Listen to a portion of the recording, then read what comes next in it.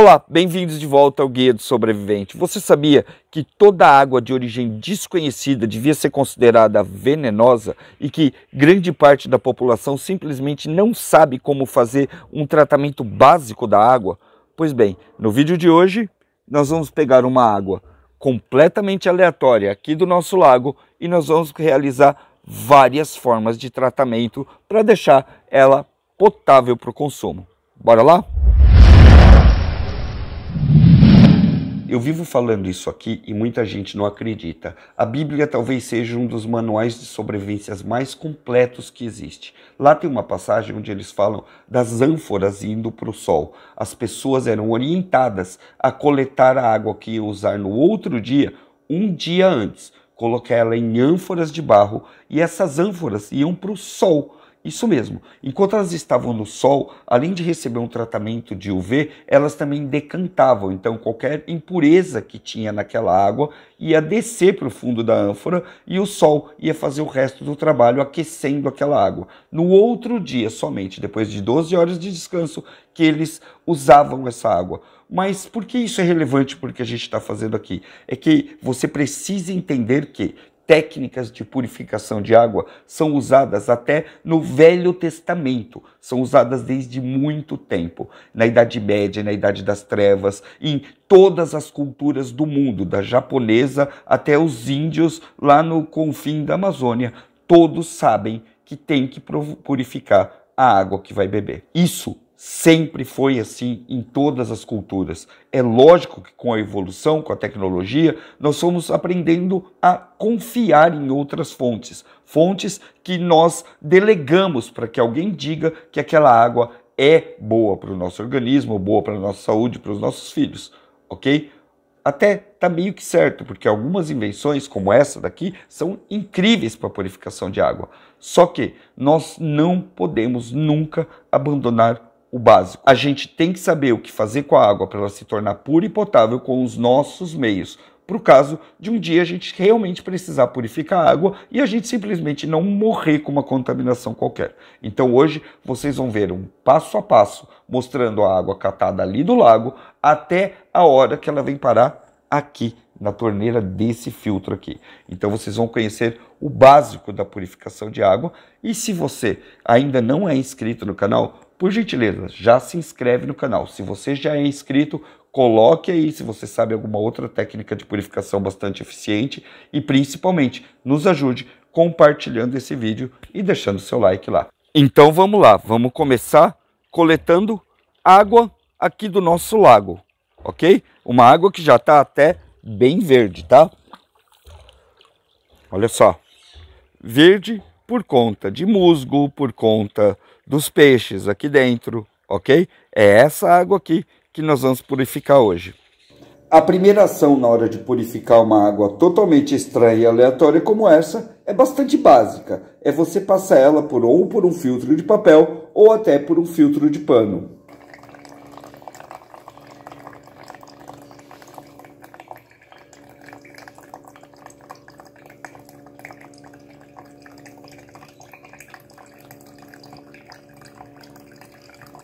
Não parece, né? Mas esse guardanapo aqui, ó, ele absorveu um monte de sujeira, não só o limo que estava dentro da água, ok? Se você der uma boa olhada aqui assim de pertinho, você vai ver que tem uma sujeirinha aí, tem uma espécie de pó, um pó meio esquisito lá dentro, mas isso é normal, e isso acaba se acumulando ali mesmo na flor da água e mesmo se for água de chuva, ok? Então passar pelo paninho é sempre uma ótima pedida antes de você começar a filtrar a sua água. Agora, no tratamento da água, a gente vai usar água sanitária a 2%. Essa água tem que ser a água sem perfume, ok? O que você vai fazer é colocar duas gotas de água sanitária para cada litro de água. E presta bem atenção no que você vai ver aqui, porque essa água, depois que eu pingar e deixar ela descansar por 10 minutos, ela vai se transformar. Todo esse limo, esse verde que você vai ver aqui, tende a desaparecer. Vamos ver? Uma, duas. Ó, eu vou misturar aqui e colocar um pratinho em cima, tá? Em 10 minutos, a gente dá uma olhada como essa água aqui ficou.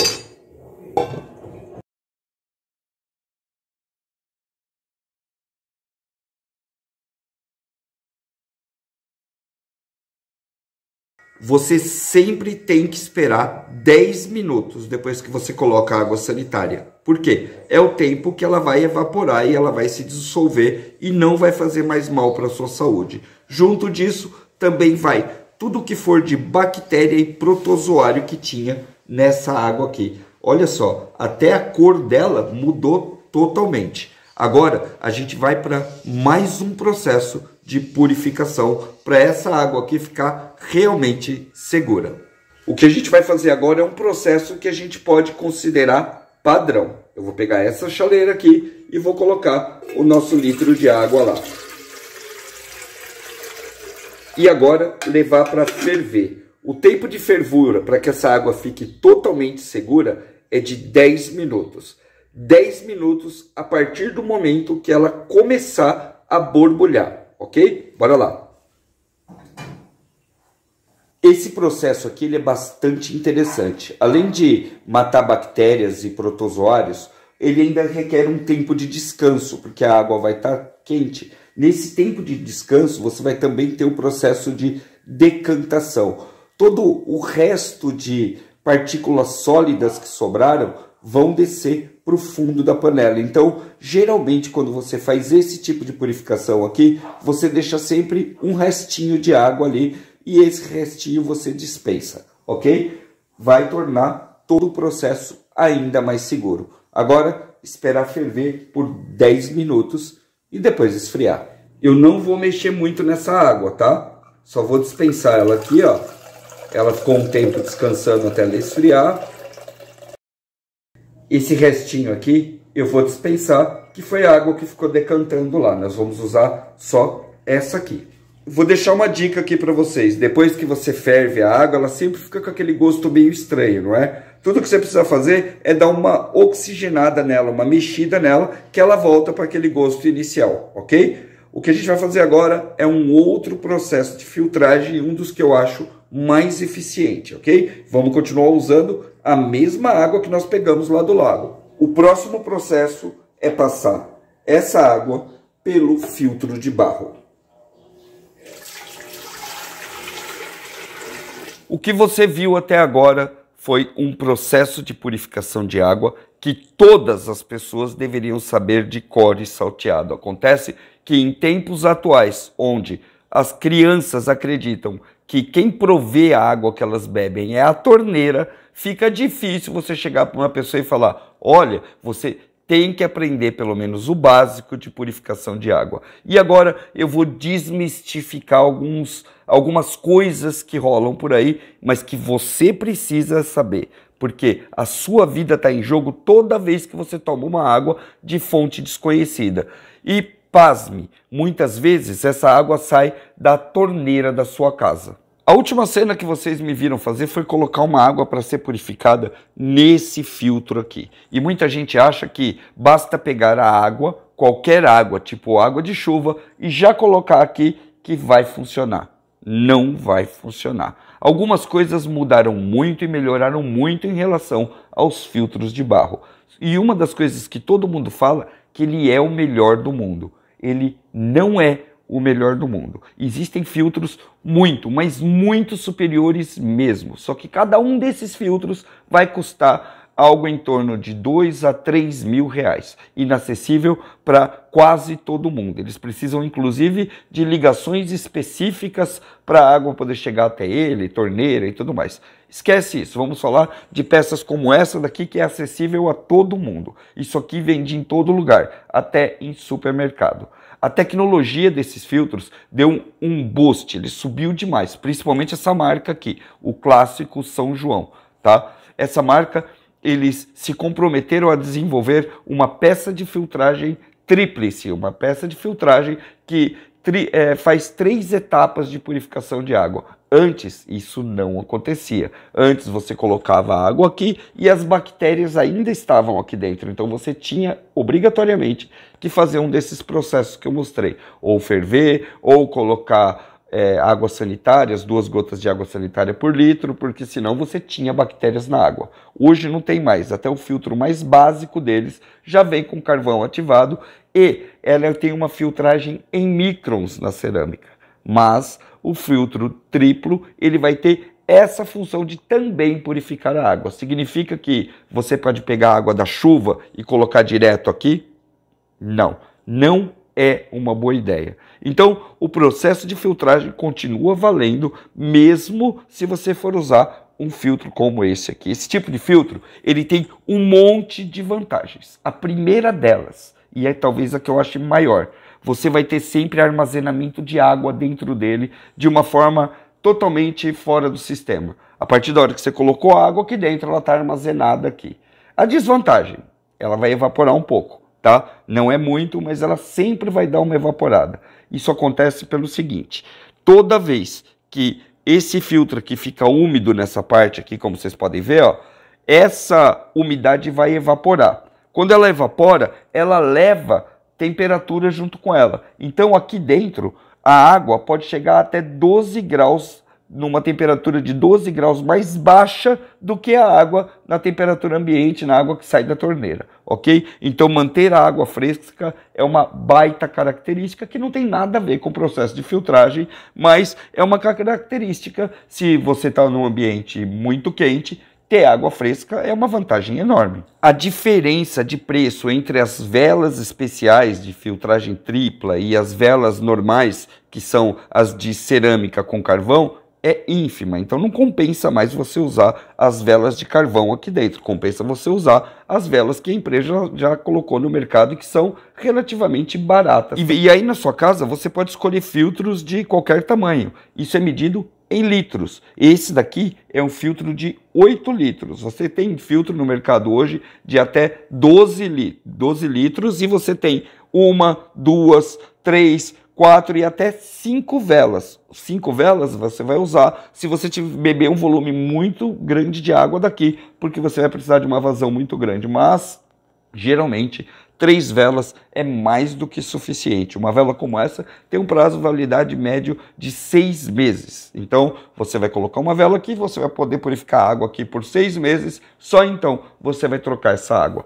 Isso já é uma grande vantagem, mas uma grande vantagem mesmo que vai evitar, por exemplo, de você ter que comprar esses filtros super tecnológicos.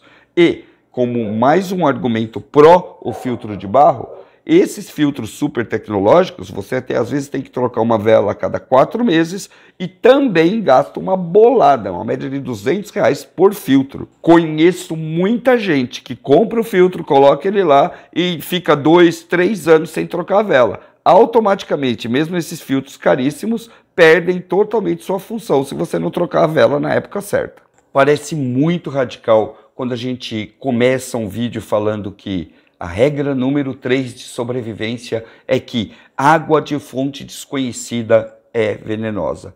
Porque você não tem muita noção do tanto de doenças e do tanto de problemas que uma água que não é tratada, uma água de fonte desconhecida pode ter. Desde origens biológicas, ou seja, patógenos qualquer, até de origens químicas, porque sim, muitas vezes você acha que aquela água daquela nascentezinha, não sei aonde, é uma água pura pra caramba, mas não é. Ela pode estar tá pegando agrotóxicos de uma plantação a quilômetros dali e jogando dentro do seu organismo e você está bebendo um veneno mais puro que existe. Então, toda água que desconhecida você considera como sendo uma água venenosa.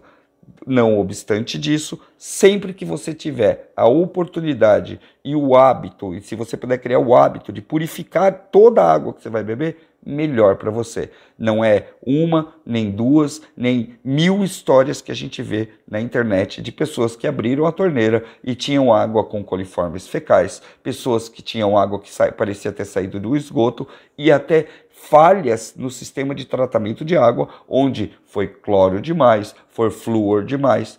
Entendeu como funciona? A filtragem caseira da água vai te proporcionar, além de mais saúde, também mais segurança na lida como água. Todos os recursos são válidos, e principalmente aqueles que são os básicos que nós mostramos nesse vídeo. Se você gostou, se você quiser ajudar a gente a promover mais o canal e também promover mais esse tema, é a hora de você compartilhar esse vídeo. Manda esse vídeo para um amigo, porque aqui tem um monte de informações relevantes que vai servir para ajudar ele também a ter uma vida um pouco mais saudável e lidar com a água do jeito certo. As pessoas deviam aprender a purificar água na escola, mas infelizmente isso é uma coisa que não vai mais acontecer. Você só vai ser ensinado a confiar naquela que sai da torneira, seja o que for. Eu sou Batata, esse é o Guia do Sobrevivente. Obrigado pelo seu like e a gente se vê no próximo vídeo. Até mais.